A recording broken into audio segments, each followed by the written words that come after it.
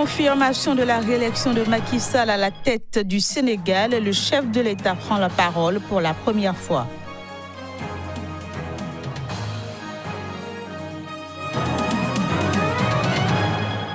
Exclusion de l'opposition des législatives au Bénin, la plateforme électorale des organisations de la société civile interpelle Job et Talon.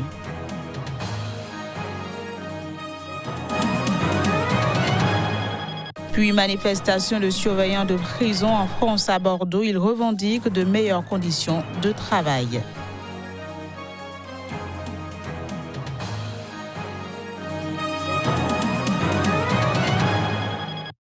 Voilà, c'était là le sommaire de ce journal. Bienvenue à toutes et à tous.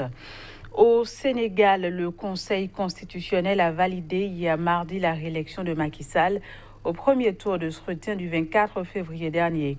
Après cette proclamation, Macky Sall a donné rendez-vous à la presse pour s'adresser aux Sénégalais. Une première prise de parole au cours de laquelle il a tenu à remercier le Sénégal et se poser un rassembleur. Compte rendu de Tchèque Berthet, notre correspondant à Dakar. C'est dans une salle acquise à sa cause que Macky Sall a fait sa première apparition quelques heures après la confirmation par le Conseil constitutionnel de sa réélection. Devant les leaders de sa coalition, Macky Sall s'est adressé aux Sénégalais dans un discours apaisé, bref et rassembleur. Je considère qu'il n'y a plus d'électeurs ou de camps marqués par des couleurs et démarqué par des lignes partisanes. Je vois un seul camp, celui du Sénégal. Mon rôle, c'est de nous rassembler autour des idéaux que nous partageons. C'est pourquoi je tends la main à toutes et à tous pour engager un dialogue ouvert et constructif dans l'intérêt supérieur de la nation. Ouvert un dialogue constructif, cela s'avère plus que jamais nécessaire. Le climat reste très tendu avec l'opposition qui conteste toujours la victoire au premier tour de Macky Sall. Dans sa prise de parole, le chef de l'État a donc tendu la main à cette partie de la classe politique et l'invite à les rejoindre pour bâtir ensemble le Sénégal. La tâche est grandiose, passionnante et ardue. Elle nous engage toutes et tous. Nul ne peut y arriver tout seul.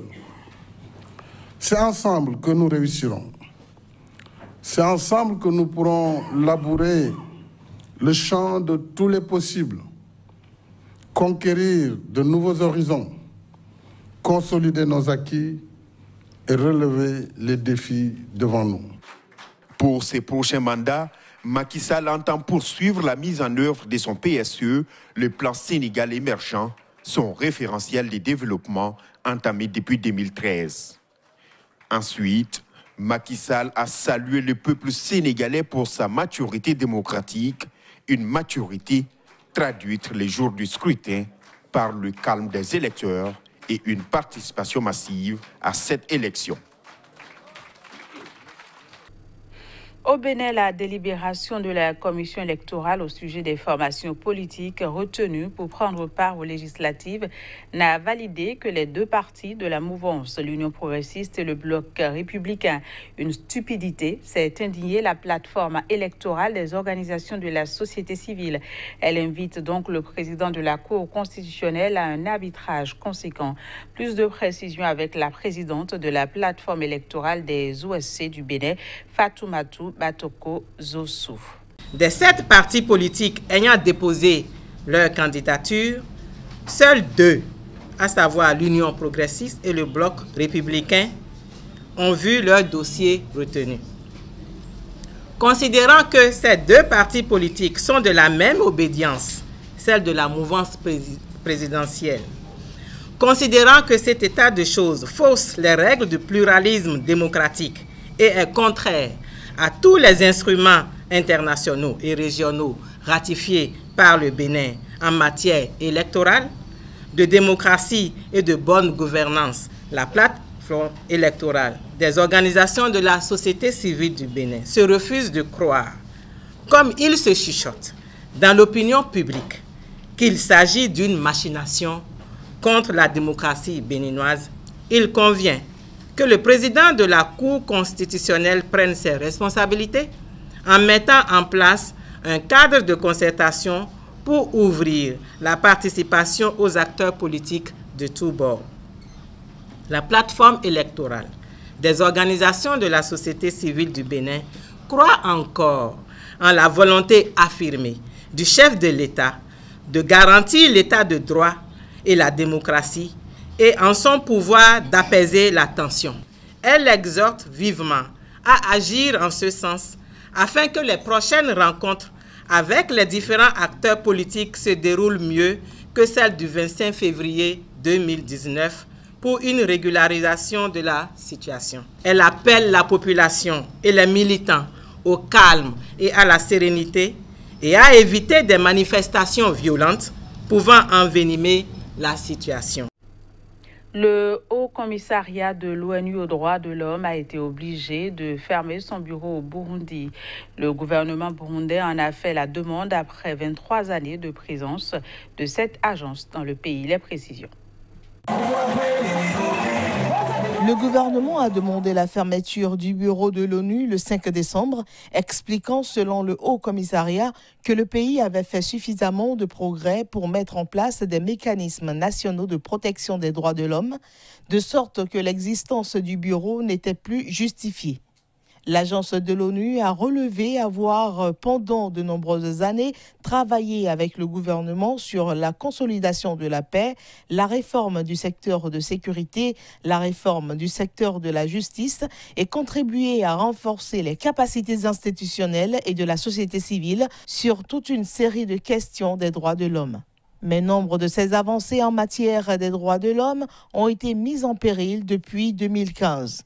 À en croire l'agence, l'absence de coopération du gouvernement depuis fin 2016 signifiait que le personnel des droits de l'homme des Nations Unies était gravement entravé dans leur capacité à examiner les allégations de violations que l'ONU continue de recevoir. Des menaces ont même été proférées pour poursuivre les membres de la commission d'enquête internationale indépendante de l'ONU sur le Burundi. Le président de la Centrafrique, Faustin Archange Touadéra, s'est rendu ce mardi auprès du pape François et a réaffirmé son engagement à mettre en pratique l'accord de paix de Khartoum, et ce malgré le rejet du nouveau gouvernement par cinq groupes armés. Reçu ce mardi par le pape François, le président centrafricain a réaffirmé son engagement à mettre en pratique l'accord de paix de Khartoum. Nous, nous cherchons la paix et dans l'accord, il y a des mécanismes qui vont permettre de continuer à travailler, a assuré Faustin Archange Touadéra à quelques journalistes lors d'une visite à la communauté catholique de Saint-Égidio, engagé dans la médiation après son entrevue avec le pape et avec les responsables de la diplomatie vaticane. La réconciliation est, en marche et je pense que ça a commencé lors de la visite du, du Saint-Père. Et je crois que nous sommes en train, il a semé la graine, nous continuons à l'arroser. Il y a des difficultés, il y a des défis, mais nous sommes confiants que euh, la africaine va retrouver euh, la stabilité, la quiétude et la paix. Et la paix. Euh, c'est un, un, grand défi et que nous sommes venus encore demander un effort supplémentaire parce qu'il y a une chose d'avoir un accord, mais il faudrait implémenter, il faut appliquer mettre en œuvre cet accord. Et nous avons besoin de tous les amis et. Cinq des 14 groupes signataires de l'accord de paix conclu à Khartoum et signé début février à Bangui ont rejeté le nouveau gouvernement nommé dimanche dernier, estimant qu'il n'était pas assez inclusif. Parmi eux figurent les trois principaux groupes armés issus de l'ex-coalition de la Seleka qui avait pris Bangui en 2013 et déclenché une riposte de milices anti-Balaka autoproclamée d'autodéfense plongeant le pays dans le chaos. L'accord de Khartoum est le huitième signé depuis 2013 pour tenter de ramener la stabilité. Près d'un quart des habitants ont dû fuir de chez eux, les combats étant quasi quotidiens dans la province contrôlée à 80% par les groupes armés. En France, un rassemblement de surveillants de prison se tient ce mercredi à Bordeaux. Et ce, après qu'un détenu radicalisé ait blessé sérieusement de garde de la prison de Condé-sur-Sat la veille, avant d'être lui-même blessé dans l'assaut des forces de l'ordre, dans lequel sa femme a été tuée. Les images. Plusieurs surveillants de prison se sont rassemblés devant la prison de Bordeaux pour revendiquer une revalorisation salariale et plus de sécurité dans l'exercice de leurs fonctions. Outre ce mouvement, 18 établissements pénitentiaires dans lesquels les surveillants ont refusé de prendre leur service sont bloqués dans toute la France. Ces différents mouvements interviennent au lendemain de la violente agression par un détenu radicalisé de deux surveillants à la prison d'Alençon-Condé sur SAT. L'auteur de l'agression a lui-même été grièvement blessé dans l'assaut des forces de l'ordre dans lequel sa femme a été tuée. Les collègues sont, blessés dans leur chair parce que euh, on, a beau alerter notre garde des Sceaux et euh, euh, toute l'institution sur ces problématiques-là, on n'est pas forcément entendu. Il faut qu'on attende qu'il y ait vraiment des, de graves agressions pour euh, se faire entendre. Et jusqu'au jour où il y aura réellement un mort, et là peut-être qu'effectivement on sera un peu plus entendu. Mais à ce jour, on n'est toujours pas. Cette agression intervient dans un contexte déjà tendu dans les prisons françaises. En janvier 2018, un vaste mouvement de mobilisation avait démarré après l'agression par un détenu djihadiste de trois surveillants à la prison de Vendy-le-Vieil, prison la plus sécurisée de France avec celle de Condé-sur-Sarthe. L'agression avait déclenché un mouvement social de trois semaines dans les prisons françaises. Ce conflit social, le plus important depuis un quart de siècle, avait pris fin après la signature par l'UFAP-UNSA, alors principal syndicat de surveillants de prison, d'un accord avec le ministère de la Justice. Une candidature de Nicolas Maduro à une future élection présidentielle pour mettre fin à la crise politique au Venezuela serait un cadeau tellement le dirigeant socialiste est impopulaire, a ironisé ce mardi l'émissaire américain Elliot Abrams. Interrogé lors d'une conférence de presse à Washington sur une candidature du président Nicolas Maduro jugée illégitime par les États-Unis, qui ont reconnu avec plus de 50 autres pays l'opposant Juan Guaido comme chef de l'État par intérim, l'émissaire américain Elliot Abrams a répondu que ce serait un cadeau d'une certaine manière, car selon les derniers sondages qu'il a consultés, il a autour de 10 à 15% de soutien.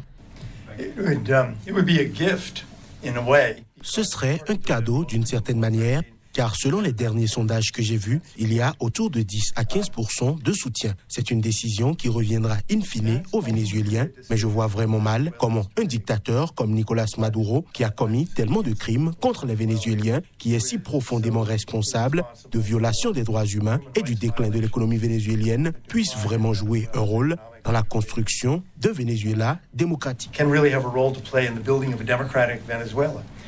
Le représentant spécial des États-Unis pour la crise au Venezuela a par ailleurs annoncé que Washington imposerait prochainement de nouvelles restrictions de visa américains à des soutiens de Nicolas Maduro. Des sanctions secondaires sont possibles. Cela dépend du comportement du régime, cela dépend du comportement de toutes les entités qui sont toutes en train de s'éloigner du régime de Maduro. Mais c'est une décision que nous n'avons pas encore prise, c'est une possibilité, mais nous n'en sommes pas encore là.